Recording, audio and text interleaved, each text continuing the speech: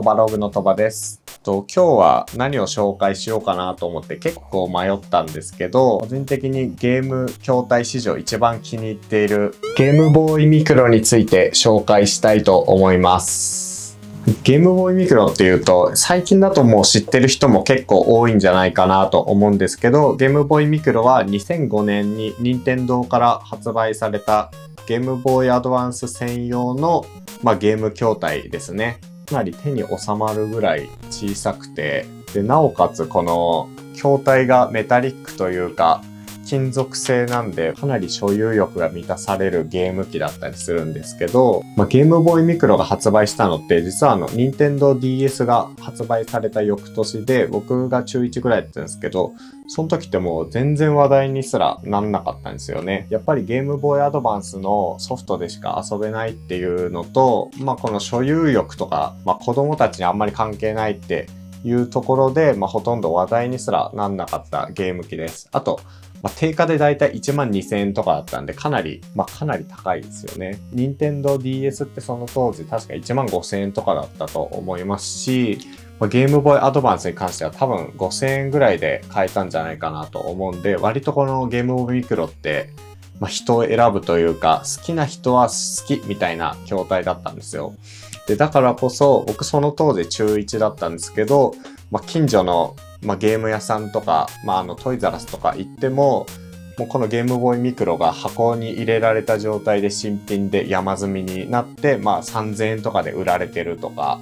あとは、まあ、ゲームボーイアドバンスのよく知らないソフト9個ぐらいと一緒にセットになって、まあ、1000円とかで売られてたりとか、でもそれでも誰も買わないみたいな時代が結構続いてたんですけど、いつ頃かな？まあ、2010年前、まあ、2010年前後ぐらいで、結構いきなりこう流行り出したというか、やっぱりゲームボーイミクロって良かったよねみたいな雰囲気が出てきて、でそれで僕もなんでかよくわかんないんですけど大体そのぐらいからちょっとプレミア化してったんですよね。でそれまでってゲーム屋さんですごい格安で投げ売りとかされてていつでも買える状態だったんですけど徐々にこう在庫が見つからなくなって、それにつれて僕も1個持っとくかみたいな気分になってってでまあそっからは買ったりお金がなくなって売ったりみたいなのを繰り返してたんですけど、まあ、2016年に改めて買い直したのがこの僕が今持ってるゲームボーイミクロです、まあ、このゲームボーイミクロを見た時に思った人もいるかもしれないんですけど実はこれ日本では売られてないモデルでまああのポーランドの方から eBay で輸入して購入したというちょっと思い入れのあるゲームボーイミクロです。23歳ぐらいの誕生日だったんですけど、その時にまあ誕生日プレゼントとして自分にプレゼントしたものです。まあ、ゲームボーイミクロって今は新品だと多分4、5万するぐらいのプレミア価格になってて、まあ中古でもだいたい1万円とか1万5千円ぐらいで売られてると思うんですけど、まあ、これに関しては当時 eBay でだいたい1万円ぐらいでしたね。で、まあヤフオクでこの色が4万円とかで売られてたんで、まあ eBay で買って、まあ eBay で見つけた時にもう速攻買って、で、ポーランドの人から譲っていただいたという形です。別に今更なんかこう、詳しくレビューするとかはないんですけど、ちょっとまあ、まあ動画にしてみようかなと思って今動画撮ってます。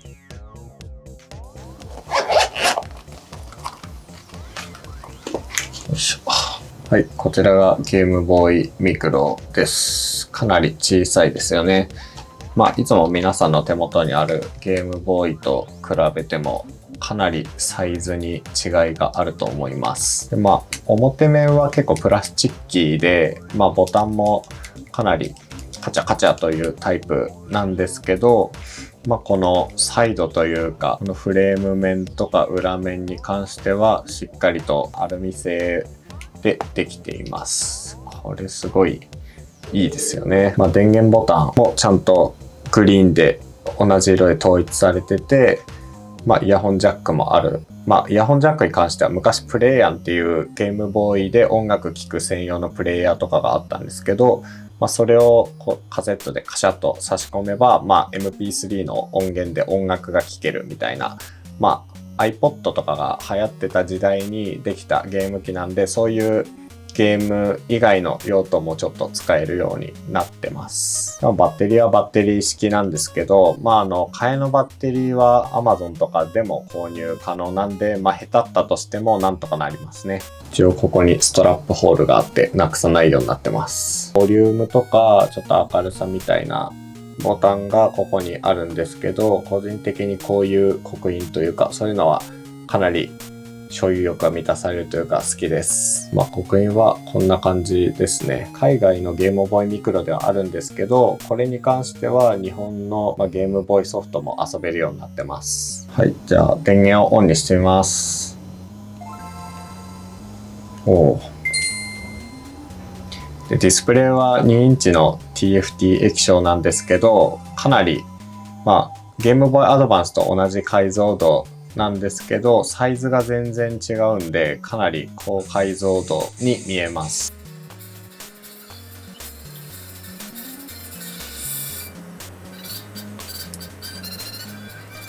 まあ、画面見えますかね？こんな感じで解像度も高くて綺麗です。またあの、発色が結構いいんですよね。アドバンス SP と違うクライトで液晶を照らしてるんで、かなり解像度というか発色がいい気がします。あんまりポケモンとかそんなにやらないんですけど、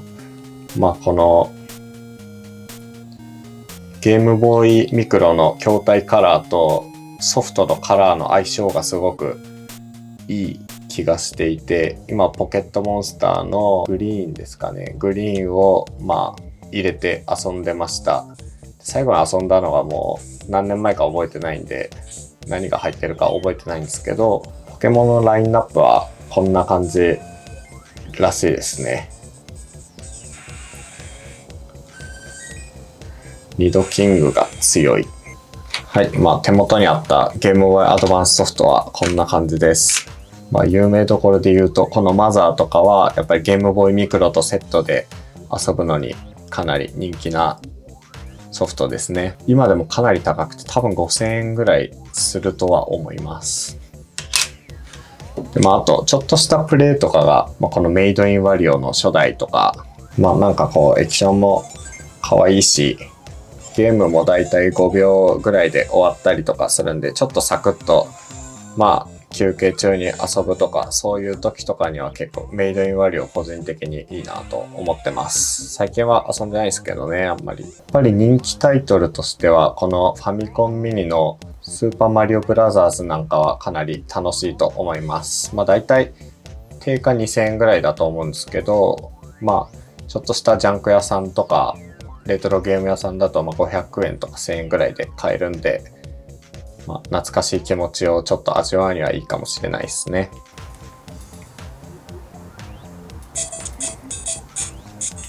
発色がいい。僕は普段はあのモレスキンのソフトシェルケースみたいなやつに入れて保管してます。ちょうど色も緑だし、まあ、あとこうピッて本当にぴったりサイズで、例えばもう一つソフトをここに入れて、まあ、こうやって持ち歩けるんで、まあ、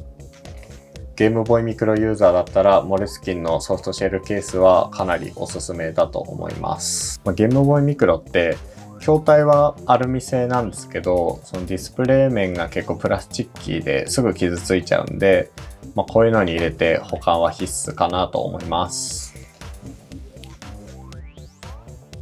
まあ、こんな感じでこのゲームボーイミクロの紹介は終わりにしたいと思います。ゲームボーイミクロがすごい好きな僕としては、まあ、この動画を見て、ちょっと、あ、ゲームボーイミクロいいなとか、ゲームボーイミクロで、まあ、遊んでみたいなって思ってくれる人が増えたら嬉しいなと思っています。じゃあ次の動画でお会いしましょう。トバログのトバでした。味わい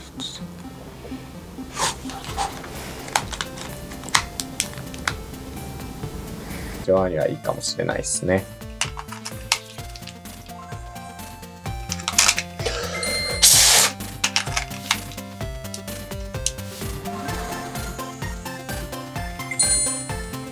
1ゲームだいたい5秒ぐらいで終わるんで